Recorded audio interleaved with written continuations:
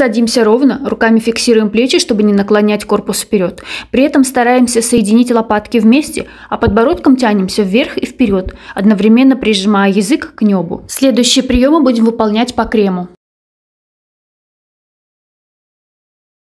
Ставим пальцы в месте крепления мышц депрессоров и произносим звук О. В это время наши пальцы скользят по мышцам, расслабляя их. Расслабляем щечные мышцы.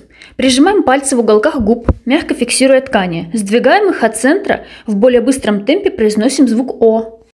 Теперь расслабляем латеральную мышцу носа, которая при укорочении и спазме образует начало носогубного залома. Ставим пальцы у крыла носа и немного смещаем ткани вверх. Затем произносим звук О, и наши пальцы скользят по латеральной мышце носа, удлиняя ее.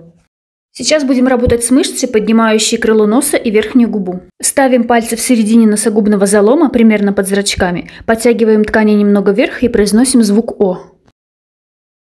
Теперь будем расслаблять скуловые мышцы, которые также оказывают влияние на формирование носогубных складок.